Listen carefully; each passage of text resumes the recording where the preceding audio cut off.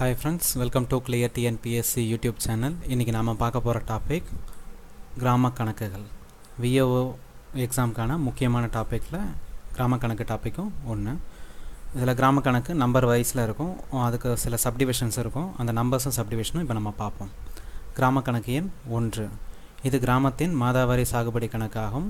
எந்த புலன்களில் எந்தெந்த பயிர்கள் எந்த மாதத்தில் சாகுபடி செய்யப்படுகிறதோ அதன் விவரங்களை அடங்கலில் பதிய வேண்டும்.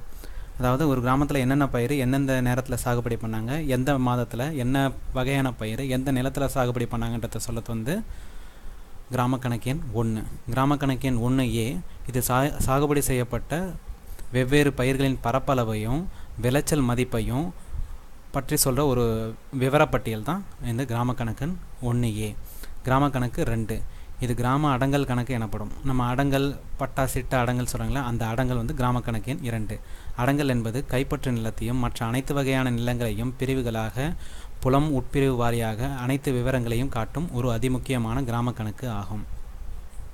லேண்டோட கிளாசிஃபிகேஷன்ஸையும் எந்த வகையான நிலங்கள்னு சொல்லிட்டு நிலங்களோட வகைகளையும் இதில் குறிப்பிட்டிருப்பாங்க. இது கிராம கணக்கு எண் ரெண்டு.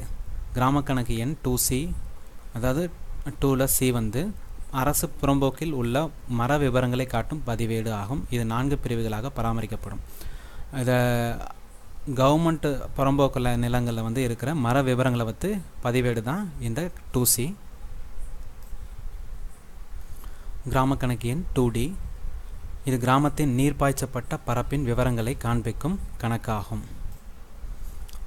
கிராமத்தில் வந்து நீர் பாய்ச்சப்பட்ட பரப்பு என்னன்னு சொல்லிட்டு கணக்கிடணும். இது ரெண்டு பிரிவாக இருக்கும். ஒன்று ஆற்று தண்ணி மூலமாக பட்ட பாசப்பட்டதா ஏரி தண்ணி மூலமாக பாசப்பட்டதான்றது பிரிவு ஒன்றுலையும் கிணறுகள் மூலம் பாசப்பட்ட நிலங்களோட விவரத்தை பற்றி சொல்கிறது கிராம கணக்கு எண் டூ டி ரெண்டு டி அடுத்ததாக கிராம கணக்கு டூ எஃப் இது அடங்கினெட்டாவது களம் குறிக்கப்பட்டுள்ள விவரங்களின் சுருக்கமாகும். அடங்கலில் இருக்க எயிட்டீன்த்து காலமில் என்ன இன்ஃபர்மேஷன் இருக்கோ அதனோட ஷார்ட் ஃபார்ம் தான் கிராம கணக்கு டூ எஃப் அதில் என்னென்ன இருக்குன்னா காடு பணம் பயனற்ற பயிர் செய்யாத இயலாத நிலம் விவசாயம் மற்றும் பயன்படுத்தப்படும் நிலம் பயிரிடத்தக்க தரிசு நிலையான புல்தரை மரவகை பயிர் நடப்பு தரிசு இதர தரிசு காட்டும் பதிவேடாகும். இந்த நடப்பு தரிசுன்றது கரண்ட் ஃபாலோன்னு நம்ம இங்கிலீஷில் பார்த்துருக்கோம். ஓகே இந்த வகையான நிலங்களோட விவரங்களை பற்றி குறிப்பிடறது வந்து கிராம கணக்கு டூ எஃப் அடுத்ததாக கிராம கணக்கு எண் மூன்று. நிலத்தின் மாறுதலை காண்பிக்கும் வருடா வருடாந்திர பதிவேடு. இது நான்கு பிரிவுகளை கொண்டது. நிலத்தில் ஏற்படுற சேஞ்சஸை பற்றி குறி குறிப்பிடுற கணக்கு வந்து கிராம கணக்கு எண் மூணு. இதில் வந்து உரிமையை விட்டு விடுதல் ஒப்படை பட்டா மாறுதல் இதர மாறுதல் போன்ற குறிப்புகளை உடையது. இருக்கிற சேஞ்சஸை வந்து சொல்லத்து கிராம கணக்கு எண் மூன்று. கிராம கணக்கு மூன்று ஏ கணக்கு மூன்றில் கைப்பற்று நிலங்கள் ஏற்பட்ட மாறுதலின் சுருக்கமாகும். மூன்று ஏ எதுனா த்ரீயில் என்னென்ன சேஞ்சஸ் இருக்கோ அதிலிருந்து கைப்பற்று நிலங்களோட சேஞ்சஸை சொல்லத்து கிராம கணக்கு எண் மூன்று. கிராம கணக்கு எண் நான்கு. இது அனைத்து அரசிறை கழிவு பெரிஸ் டி டிடக்ஷன் சொல்லுவாங்க. அதை காண்பிக்கிற கணக்கு சமய நிலங்களுக்காகவும் தர்மஸ்தாபனங்களுக்காகவும் வழங்கப்பட்ட தீர்வை கழிவு காம கொடுக்கறதுக்காக பட்ட கணக்கு வந்து கிராம கணக்கு எண் நான்கு. கோவில்களுக்கான வழங்கப்பட்டதும் தர்மஸ்தாபனங்களுக்காக வழங்கப்பட்ட நிலங்களுக்கான தீர்வை நோட் பண்ணி வைக்கிறதுக்கான கிராம கணக்கு கிராம கணக்கு எண் நான்கு. கிராம கணக்கு எண் ஐந்து. இதை வஜா கணக்குன்னு சொல்லுவாங்க. இதில் ஐந்து ஒன்று ஐந்தில் ரெண்டு ஐந்து மூணுன்னு சொல்லிட்டு மூணு பிரிவாக இருந்துச்சு. இப்போ எல்லாம் சேர்த்து ஒரே பிரிவாக ஐந்துன்னு சொல்கிறாங்க இது என்னென்னா பருவமழை பொய்க்க போகிற காலத்து பொய்த்து போன காலத்தில் நிலவரியை தள்ளுபடி செய்கிறவங்க இல்லைங்களா? அந்த நிலவரி தள்ளுபடி செய்கிற அளவை வந்து குறிப்பிடத்து வஜா கணக்குன்னு சொல்லுவாங்க. பருவமழை பாதிப்படையும் போது நிலவரி தள்ளுபடி செய்யப்பட்டு வருகிறது. இது மூன்று பிரிவுகளாக பராமரிக்கப்படுகிறது. பருவமழை பாதிப்பு ஏற்பட்டு ஏற்படும் பொழுது பயிராய்வு செய்யப்பட்டு விளைச்சல் அளவு இல இருபத்தைந்து சதவீதத்திற்கு குறைவாக இருந்தால் அத்தகைய அத்தகைய நேரங்களில் வஜா செய்யப்படும் தீர்வை விவரங்கள் இதில் காட்டப்படுகிறது. எப்போல்லாம் பருவமழை பொழிக்குதோ அந்த நேரத்தில் விளைச்சல் வந்து இருபத்தஞ்சி சதவீதம் குறைவாக இருந்தால் அந்த நேரத்தில் ஏற்படுற தீர்வை விவரங்களை வந்து காட்டுறதுக்கான கணக்கு வந்து கிராம கணக்கு எண் ஐந்து. அடுத்து கிராம கணக்கு எண் ஆறு. தண்ணீர் தீர்வை விதிப்பு பற்றி காட்டும் படி பதிவேடாகும். அரசு நீர்ப்பாசனத்தில் அனுமதியின்றி தண்ணீர் எடுத்ததற்கான அபராத கணக்குகள் கணக்கு ஆறில் பராமரிக்கப்படும். இது நஞ்சை புஞ்சை புறம்போக்கு நிலங்கள்லேருந்து அரசு நீர்ப்பாசன ஆதாரத்திலேருந்து எடுக்கிற அனுமதியின்றி எடுக்கப்படுற தண்ணீருக்காக விதிக்கப்படுகின்ற அபராத தொகை இந்த கிராம கணக்கு எண் ஆறு. அடுத்தது கிராம கணக்கு எண் ஆறு ஏ. மேலே சொன்ன அந்த கிராம கணக்கின் ஆறில் சொன்னப்பட்ட அந்த நிலங்களோட நிலங்கள் பட்டாவாரியாக பிரித்து எழுதியிருக்கப்பட்ட நம்பர் வந்து ஆறு ஏ. எந்தெந்த வகையான நிலம் யா யாரோடைய நிலம்னு சொல்லிட்டு பட்டாவாரியாக பிரிச்சிருந்தா அந்த க அந்த கணக்கு எதில் இருக்குன்னா ஆறு ஏ என்ற கவுண்டில் இருக்கும். கிராம கணக்கு எண் ஏழு வந்து புறம்போக்கு நிலம் தீர்வை ஏ விதிக்கப்பட்ட தரிசு தீர்வை விதிக்கப்படாத தரிசு. இதை நம்ம ஆல்ரெடி போன டாப்பிக்கில் பார்த்துருக்கோம்.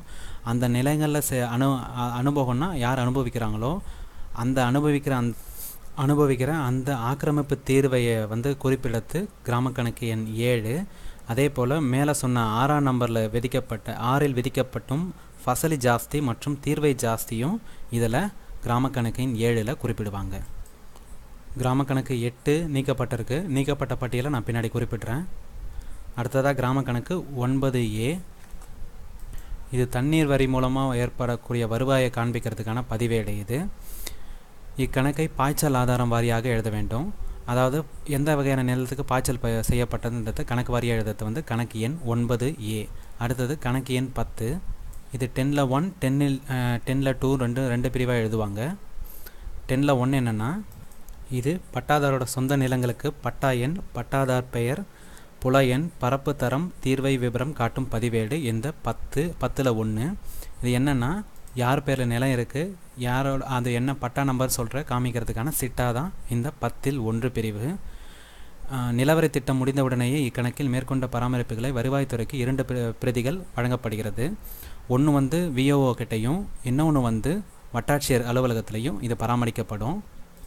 இது கைப்பற்று நிலக்களுக்கு மட்டுமே பொருந்தக்கூடிய கணக்கு. அடுத்து பத்தில் ரெண்டு. மேலே சொல்லப்பட்ட பத்தில் ஒன்று பிரிவில் காமிக்கப்பட்ட அந்த மொத்த டீட்டெயில்ஸ் இருக்கு இல்லைங்களா? அந்த டீட்டெயில்ஸோட ஒவ்வொரு பட்டாதாரருக்கும் விதிக்கப்படும் நிலத்தீர்வை தண்ணீர் தீர்வை பல வகை வரிகளையும் இவர்களை கூட்டி பட்டாதாரருக்கு வழங்கப்பட்ட தீர்வை தள்ளுபடி இதை காட்டுறதுக்கான பதிவேடு தான் கிராம கணக்கு எண் பத்தில் இரண்டு. கிராம கணக்கு எண் பன்னெண்டு. ஜமாபந்தியோட போது இதை சப்மிட் பண்ணணும். இதில் என்னென்னா கிராம கணக்கில் கிராமம் முழுமைக்கும் உள்ள நில வருவாய்க்கான நிர்ணய சொருக்குன்னு சொல்லுவாங்க. இதை வந்து கிராமத்தின் மொத்த கைப்பற்றி நிலம் மொத்த சாகுபடி தரிசு நிலம் மொத்த கைப்பற்று பரப்பு நிலவரி தண்ணீர் வரி கூடுதல் தண்ணீர் வரி செஸ் வரி மரவரி இதை பற்றின டீட்டெயில்ஸ் எல்லாமே இருக்கிறது வந்து கிராம கணக்கு எண் பனிரெண்டு. அடுத்தது கிராம கணக்கு எண் பதிமூன்று. இது பட்டாதாரர்களிடம் இருந்து வசூல் செய்யப்படும் தினசரி வசூலை காட்டு காட்டும் பதிவேடு. கிராம கணக்கு எண் பதிமூன்று. கிராம கிராம கணக்கு எண் பதினாலு. ஒவ்வொரு நபர் நபரிடமிருந்து வசூலிக்கப்பட்ட தொகையை காண்பிக்கக்கூடிய பதினொன்றாம் எண் பதிமூன்றாம் எண் கணக்கின் சுருக்கமாகும். தேர்ட்டீனில் என்ன கிராம கணக்கு எண் தேர்ட்டீனில் என்ன ஷோ பண்ணமோ அந்த டீட்டெயில்ஸோட ஷார்ட் ஃபார்ம் தான் கிராம கணக்கு எண் ஃபோர்டீனில் இருக்கிறது. கிராம கணக்கு எண் பதிமூணில் என்ன அமௌண்ட்டை நம்ம கலெக்ட் பண்ணமோ அந்த கலெக்ட் பண்ண அமௌண்ட்டை வந்து கஜானால் செலுத்துறதுக்கான செலானை குறிக்கிறது வந்து கிராம கணக்கு எண் பதினைந்து. கிராம கணக்கு எண் பதினாறு. இது வசூல் பாக்கிய கண காண்பிக்கிறதுக்கான கணக்கு. ஆனால் எப்போ நிலவரி தொகை வந்து லேட்டாக ஃபீ பே பண்ணுறாங்களோ அந்த ஃபீக்காக அஞ்சு பர்சன்டேஜ் வட்டியை கணக்கில் சேர்த்துப்பாங்க. அந்த சேர்க்கப்பட்ட கணக்கு வந்து கிராம கணக்கு எண் பதினேழில் இருக்கும். பட்டாதாரரின் இரண்டு வருடம் முதல் உள்ள நிலவரி பாக்கி தொகைக்கு ஐந்து சதவீத கணக்கிடும் வட்டி கணக்கு தான் இந்த ஏழு. கிராம கணக்கு எண் பதினேழு. அடுத்து கிராம கணக்கு எண் பதினெட்டு.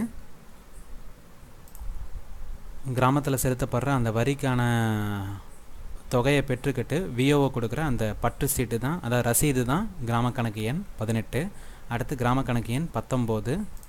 ஜனவரி டு டிசம்பர் மாதம் வரைக்கும் இந்த கிராம கணக்கு எண் பத்தொம்போது மெயின்டைன் பண்ணணும். இது கிராமத்தில் பிறந்த இறந்த இறந்து பிறந்த குழந்தைகளை பற்றி பதிவு செய்யும் பதிவேடு.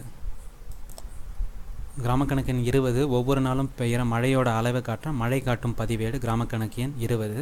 அடுத்தது கிராம கணக்கு எண் இருபத்தி ஒன்று கிராமத்தில் உள்ள கால்நடை குறித்தான கணக்கை காமிக்கிறது. கிரா கிராம கணக்கு எண் இருபத்தி ஒன்று கிராம கணக்கு எண் இருபத்தி ரெண்டு நீக்கப்பட்டிருக்கு. அடுத்ததாக கிராம கணக்கு எண் இருபத்தி மூன்று.